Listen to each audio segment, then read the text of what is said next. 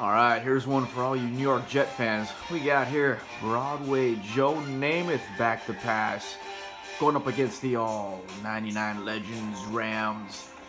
In the 80s Jets unis, who does he see going deep? None other than Mickey Shuler. Speaking of the 80s. And there he is with the catch. And he's going into the end zone touchdown. New York Jets.